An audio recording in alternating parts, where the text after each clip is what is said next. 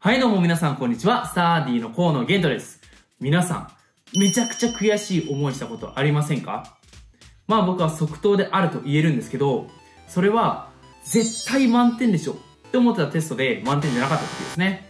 もう試験中に、あ、これは解けたと。もう回答までの道筋見えたぞって思ってガーッとやった答案で、最後、蓋を開けてみたら、あれ？なんか減点されてる。三角マイナス 2? なんだこれは？いう風になってしまうと、やっぱ悔しいですよね。そういう完全に分かってるつもりが減点されてしまうと。そういう原因の中で結構よくあるのが、不統合の統合の問題ですよね。要は答えとして統合を入れなきゃいけないのに不統合を普通に書いてしまって三角と。もし回答だけだったら下手したら回答間違ってるわけだから0点になってしまう可能性あるんですよ。だから本当に最後の最後ちょっと爪甘くしただけで減点されてしまう。これってすごく悔しいですよね。今回はその悔しい思いをしないためにどういう時に不統合の統合を意識するべきかっていうことについてお話ししていこうと思いますもう悔しい思いをしないためにぜひ最後まで聞いてくださいということで早速やっていきましょうはいそれでは不統合で満点を逃すなというわけですね実際に問題を通して見ていきましょう問題二次方程式 x2 乗 -2x プラス4イコール0が相異なる2つの解を持つとき、その2解が次の条件を満たす定数 A の範囲をそれぞれ求めようと。過去1、過去2、過去3、過去4とあるわけですね。はい。こういう解の配置問題をどういうふうに考えていくか。まずですね、不統合の問題ではなく解の配置問題を考えていきましょう。はい。こういう解の配置問題ですね。これは二次方程式の解の配置問題に限らずなんですけど、一般にグラフで考えるっていうことがすごく有効なんですね。このですね、方程式をグラフで考えてあげるっていうのはすごく重要な考え方でですね、この方程式とグラフ、これはもう表裏一体なんですね。この方程式があればグラフがあるし、グラフがあればそれに対応する方程式があるんですよ。常に方程式を見るときは必ずグラフが裏にあるんだなっていうことを頭の片隅に置いておくことでうまくいく場合がすごく多くなるわけですね。この解の配置問題もそのうちの一つだと。じゃあ二次方程式の場合どういうふうに考えていけばいいかというとグラフの中でも特にはい、単点軸判別式の3つを押さえていく。これがすごく重要なんですね。この3点セットを必ずもう暗唱できるようにしてください。まあ、これ、単点軸判別式じゃなくて、判別式軸単点とかいろんな言い方があるんですけど、スターディー的にはですね、この単点を一番最初に確認することをお勧めしています。まあ、これについては、単点さえ確認すれば、後の2つがいらないっていう場合がたくさんあるからっていう感じですね。とにかく単点軸判別式のこの3点セットをしっかりと押さえた上でグラフで考えていく。そのグラフっていうものは方程式があればグラフっていうものが表裏一体として存在するっていう、この裏表の部分をしっかりと見据えた上で考えていきましょうっていう話ですね。じゃあ、もう少し具体的に今回の二次方程式をどのようにグラフで考えてあげるかというと、この x2 乗 -2x プラス4イコール0をはい、y イコール x2 乗引く 2x プラス4と y イコール0。この2つのグラフの交点の x 座標と見てあげるわけですね。はい、この2つのグラフの交点の x 座標がこれを解いたものとなるわけですよね。こういうふうに見てあげることによって、まあ要は y イコール0って x 軸じゃないですか。この二次関数と x 軸の交点として見ることができる。じゃあ、あとはこのグラフをしっかりと考えていって、単点軸判別式っていうものを考えていけばいいというわけですね。ということで、解の配置問題の基本的な話はこんなところで実際に問題を解いていきましょう。まず、括弧1ですね。両方ともこの解が x 大なり1を満たすと。そういった場合どうなるかというと、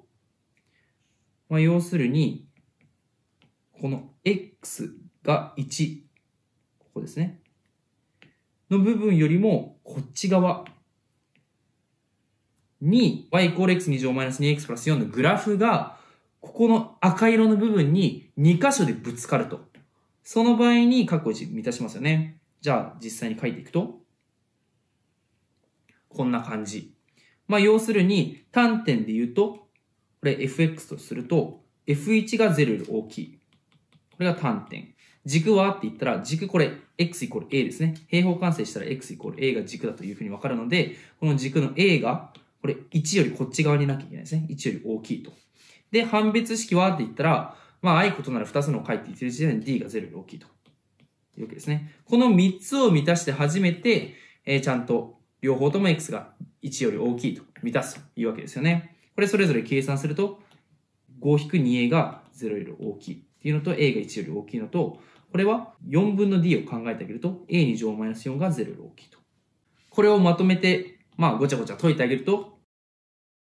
こういう風になるわけですね。はい。まあこれはただ解いてあげてください。まあとりあえず括弧1、うん、単点軸判別式が分かれば何も難しい問題でもないなと、簡単だなというふうに思うことでしょう。ということで、じゃあ次括弧2行きます。一方のみ x 大なり1を満たすと。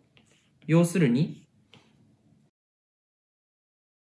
はい。片方のみがこの赤い部分にぶつかると。ってことは、こんな感じかな？片方がこっち、もう片方がこっちにあればいいというわけですね。で、これでよく言われることとしては、この単点の部分が0より小さい。これさえ満たせば OK だよね、と。これさえ満たせば OK だよねってなりますよね。要は、F1 の部分が0より小さかったら、どうあがいても1より大きい部分にぶつかるし、どうあがいても1より小さいところ、まあ残りの方は1より小さいところになるわけだから、まあ F1 が0より小さいって考えてあげれば OK と。うん。じゃああとは計算してあげれば、5-2a が0より小さいわけだから、a が2分の5より大きいと。これで言えるわけですね。じゃあ、カッコ3はって言われたら、一方のみが x 大なりイコール1を満たすと。要は、ここをイコール入れればいい。あ、じゃあ、ここの部分、なんか、うんと、f1 が0以下っていう風な感じかな。ここイコールだし。じゃあ、えー、っと、a が大なりイコール2分の5と。まあ、こうなるのかなっていう風に思うわけですね。a 大なり2分の5、a 大なりイコール2分の5と。まあ、これ、イコールが入ってるか入ってないかだから。よし、じゃあ、カッコ2カッコ3終わり。ってやると、これ落とし穴にはまるんですね。これですね、やっぱ不統合を扱うときに、ちゃんと意識しなきゃいけないよっていうのが、この例からわかるわけですね。まあもしかしたら、こんな短絡的にやらないよって思う方もいるかもしれないんですけど、いろんな場面で問われた時に、必ずちゃんと意識できるかって言ったら、また話は別なんですよ。実際にどう考えていけばいいかというと、まあ、カッコにカッコさんまとめて考えていきますね。まあ、この1を含むか含まないかっていうところが一旦あるわけじゃないですか。まあ、これは一旦置いとくとして、この、要は1より大きいら辺でぶつかるためには、どうなってればいいかというと、これまあ F1 が0より小さいっていうのは、とりあえずは OK ですよね。F1 が0より小さければ、この大なり1とか大なりイコール1とか、まあそういうのはあまり深く考えずに一旦 OK だと。っていうのが分かった上で、F1 イコール0の場合はどうなの？っていうふうに別個で考えなきゃいけないんですよ。つまり、この F1 イコール0になる場合っていうのはどういう時かというと、このグラフが、ここの点を通る時ですね。ここの点を通る時、どういう風な場合が考えられるかっていうと、こういう風に、残りがこっち側に行く場合か、こうなる場合か、どっちかですよね。こうなる場合か、こうなる場合か。どっちかで、これ、どっちか、どっちになるかで、カッコにカッコ3、どっちに含まれるかっていうのが変わってくるんですよ。この二つですね。共通しているのは、x イコール1は解なんですね。x イコール1が確実に解だというふうに言えるわけなんですが、括弧2の条件を満たすためには、x 大なり1ですね。が片方だけだとすると、x イコール1っていうのは、この x 大なり1に含まれないんですよね。つまり、こっち側、もう一方の解が x 大なり1を満たさないと、括弧2に含まれないんですよ。一方、括弧3の場合は、x 大なりイコール1ですね。この x イコール1っていうものがこの一方に含まれてしまうから、残りの解は x 大なりイコール1じゃダメなんですよ。こっちになきゃいけないというわけになるわけですね。こういう意味で、カッコにカッコ3どっちに含まれるかなっていうふうに考える場合に、x イコール1が解の時に、もう一方の解がこっちかな、こっちかなっていうので、しっかりと見ていかなきゃいけないわけですね。ここがミソなんですよ。今回で言うと f1 イコール0の場合、まあこれ代入すれば a が出てくるじゃないですか。1を代入すると 1-2a プラス4イコール0と。だから a が2分の5。とすると、この x2 乗マイナス 5x プラス4イコール0の2回が、まあこれ因数分解すれば x イコール1と4になりますね。もう一つの解は4になるわけですよ。まあ、これは、実は解と係数の関係使えばいいんですが、ちょっと数 2b の範囲になってしまうわけですね。で、この x イコール4ということが分かれば、要は x イコール1、10ですね。これを通るときっていうのは、もう片方の解がここになってくるわけですよ。4と。14の部分を通るというふうになるわけだから、結局ですね、これ、一方のみ x 大なり1を満たすっていう方に、これが含まれてくるんですよ。言いたいことわかりますか？この f1 イコール0となる、すなわち a イコール2分の5っていうのは、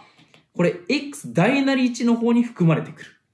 わけですよね。これ、1、4を解に持つっていうのは、一方のみ x 大なり1を満たしてるわけだから。この、括弧3で考えちゃうと、どっちも x 大なりイコール1を満たしちゃってるわけだから、二つとも x 大なりイコール1を満たしちゃってるわけで、要はこの a イコール2分の5っていうのは除外されるわけですね。だからさっきので言うと、括弧2の方で a イコール2分の5っていうのが含まれてきて、括弧3の方は a イコール2分の5が除かれるわけですね。これが正しいんですよ。はい。だから、これイコールないからこっちイコールなしでしょ。みたいな感じで、ノリでやっちゃダメなんですね。だから、不統合は必ず統合を意識する。もうですね、だから、あの、冒頭でどういう場合に意識すればいいかっていう話したじゃないですか。もう答えとしては、常に意識しましょう。はい。常に意識しましょう。もうこれに尽きるわけですね。もう僕はですね、不統合を扱うときに、うん、これイコールいるかなっていうのを、本当にどんなちっちゃい、本当微妙な式変形でも、一瞬だけ、もう0.1秒でいいから考えてますね。で、これ、あれ？もしかしたら統合、あ気をつけなきゃいけないかもって思った瞬間にちょっとゆっくり考えるという、今回の場合はちゃんと考えなきゃいけないですね。うん。だから、カッコにカッコ3。これですね、まあ、よくある問題として、二次方程式の解の配置問題。急にですね、この統合っていうものを意識して倍分けしなきゃいけない問題が出てきたりするんですよ。で、うわ、なんか、あ、これ難しいな。この問題だけやけにレベル上がったなって思うことがあるんですね。まあ、これがカッコ4なんですけど、後でカッコ4やりますね。カッコ4は、え、ぶっちゃけ、その答案だけ見ると、なんか、あ、倍分けがあって難しいなって思いがちなんですけど、違うんですよ。本当はカッコ1、カッコ2、カッコ3、全部で統合常に、まあ、どんな問題でも意識しなきゃいけないんですよ。カッコ4だけたまたま統合を意識しないと難しいっていうか、その答えを間違えてしまうかもしれないから、答案上丁寧に書いてあるけれども、カッコ1、カッコ2、カッコ3、常に意識するんですね。まあ、実際カッコ2、カッコ3意識しないとちょっとミスりがちじゃないですか。だから、カッコ1でも、ここで F1 が0より大きい、A が1より大きい、D が0より大きい、うん、そうだね。これは実際間違ってはないんですけど、ただ、ちゃんと意識の中でですね、えー、本当にここの部分にイコール入れなくていいのかな？ここの部分にイコール入れなくていいのかな？ここに入れなくていいのかな？っていうのを意識した上で、うん、入れなくていいねっていう、そのワンステップを挟んでほしいということですね。例えば今回で言うと、F1 が0より大きい。まあこれ単点ですよね。単点が0になってしまった場合、こうなってしまう場合っていうのは大丈夫なのかなっていうふうに考えたときに、これ、両方とも x 大なり1を満たすっていう条件のもとで、片方がもう x イコール1になったら、x イコール1って要は x 大なり1を満たしてないので、あ、ダメだなと。だから今回これはダメだから、イコールを含めちゃいけないなっていうことを軽く考えると。